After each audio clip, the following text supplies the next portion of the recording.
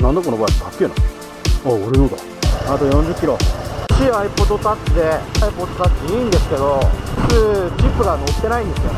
現在地の情報をリアルタイムに掴んで地図に反映させるってことです。知らない街を行くときはタッチをナビ代わりに買おうと使おうと思うのはあんまりお勧めしないですね。Google マップのナビの使い心地なんですけど信用しない方がいい。ですねバイクで使うときナビ信用しない方が。ナビっていうのは渋滞情報をフルートしてくれるんですね使えるからあんまり喋れない。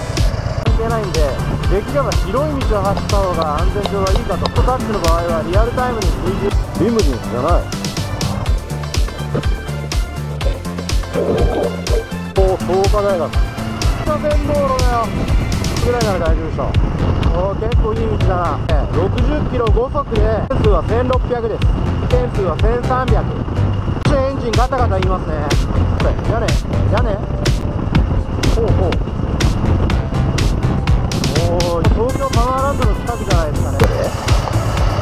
ああ走りやすいな。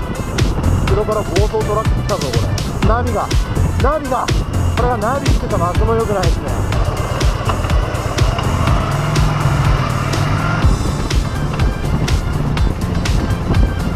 それ狙ってるだろうな。